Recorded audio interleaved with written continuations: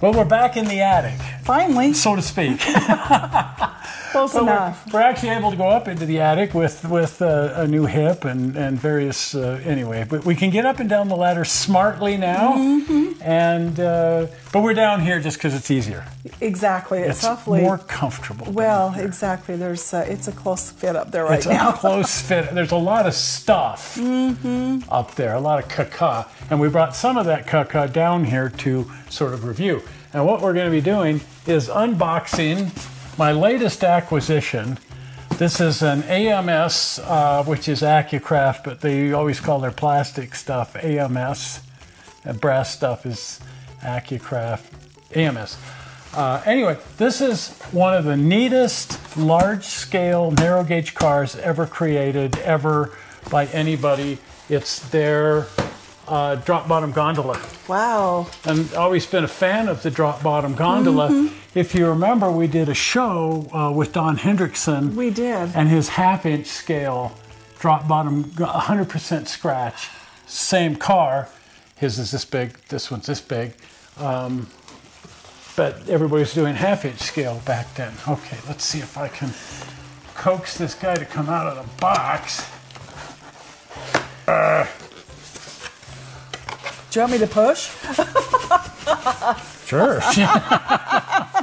foam widgets fram for mm-hmm. packaging purposes which is good because especially heavy large scale stuff is so easily damaged Yeah. It just scares me. The heavier and bigger it is, the easier it is to damage. I'll mm, tell you what. And, Yeah, it's just sad to see something fall off a track and get damaged. It makes me want to cry. Well, and we just bought some log cars That were damaged. that were damaged in shipment. yes. And they're just because they're big and they're heavy, and uh, that doesn't really want to open. But geez, Okay, that's opening it.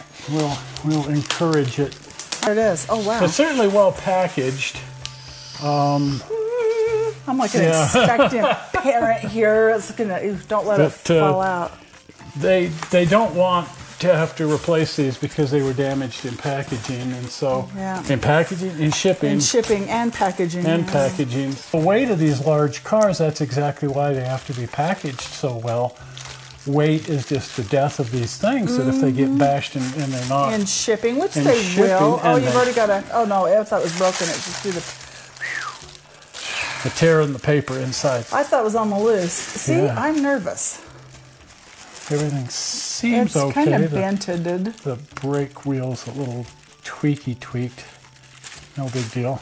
Yeah, Yeah, it's not going to go back in the box. It's going to stay out it's gonna have to. because it's we run the risk of damaging it just trying to put it put it away.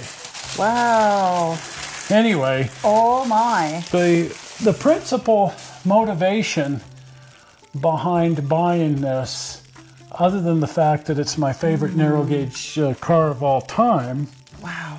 is that uh, we're building that 20 scale coaling tower. Right. And I think you're building the coaling tower, but we have all the Somebody's parts. gonna build the coaling tower. Yeah, and and and you have to get the coal from the drop bottom gon into the coaling tower. So you need two of these uh, to make your coaling tower look correct, and that's really what these are are for.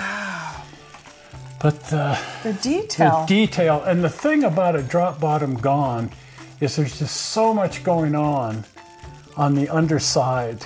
Who would know unless Yeah. you looked under there, right? uh, when Don was building his scratch build, it was like, you gotta be kidding me. But you've got all of the same uh, brake rigging and truss rods that you'd find on any car, but then all of that mounts to a center sill, which then is below the actual bottom of the car because the doors need to open and they open and close ratchet from here. Now, these don't work right. no no need for that. Now, two things that are jumping out at me that I'm going to change: uh, the inside of the car. Now, I'm certainly planning to weather the car, but you're not going to find the inside of a narrow gauge car that's painted.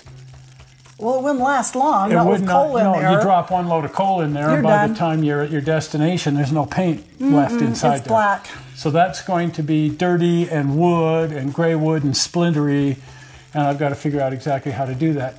The other thing that's sort of jumping out at me is how clean and crisp the edges are here. And as they drop material into these things and coal and ballast and whatever bashes against the top board, the top board gets really beat up. So I'm going to be doing some extensive um, uh, distressing of the top board. Not because I don't I don't care for things that are really He wants to make it look like my dad's Ford pickup truck. Exactly. Mm-hmm. But but in theory, that uh, just a few little things, and other than that, some dust and grime and dirt and There you go. fun stuff. And and here again, the the brake handle is going to take uh, a little, you know, and actually that's very prototype because just as this one's poking up into harm's way, so is the real one. And uh, they get bent. They get bent all the time. So that's that's realistic. This board here, by the by, why there's a board across here, is so that a, a brakeman can stand up here and work the brake wheel. They can climb the, the grabs here and stand here to. Hope he work. hangs onto that thing when they take out the slack. Oh, I hope that. Yeah, I hope he's nowhere near it when they take out the slack. No, he might One of, one of the neat things about these cars that I really like is that the the uh, the couplers work Oh, if you when you couple in, they close, and then when you pull up on the release handle, that actually releases it. wow. So if you're into some kind of minimal operations, it's like grabbing the release handle and actually uncoupling the car How fun. is how you do it. You don't go in with a little wood pick like in the smaller scales. No, you just do like you would do on the real railroad. You just grab it. Get a corn dog stick. That's more like You it. just grab it. Now, everybody that knows anything about me knows if, if one is good, two is Two's better. better. Here. Because, like I say, you can't have a coaling tower without two of these. Uh, one that's already been unloaded and one that's waiting to be unloaded on the feed ramp. And uh, there's actually a window here. Not You that you can can see really it see the car, but you can kind of see the car, but it's all still wrapped in paper. I'm not going to take this one out, or we'll be here the rest of the day. But um, they're expensive. They're Usually. expensive. Um, I think the retail price on them is around 180. But if you keep your eyes peeled on eBay and you talk to the right people and you schmooze and you do whatever you have to do, you can pick them up for 100, 110.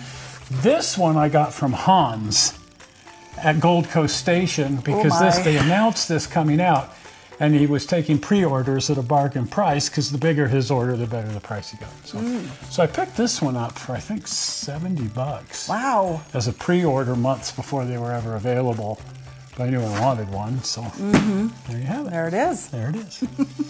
The drop bottom gon by ams There it is. in plastic. In 120.3 scale for large scale railroading There you go. it's really a great car. Well, if you haven't been over to the channel, pop on over to the channel. And if you're not a subscriber, please subscribe. Helps us out, helps you out. Everybody gets helped. The uh, all of the stars align and everything's good.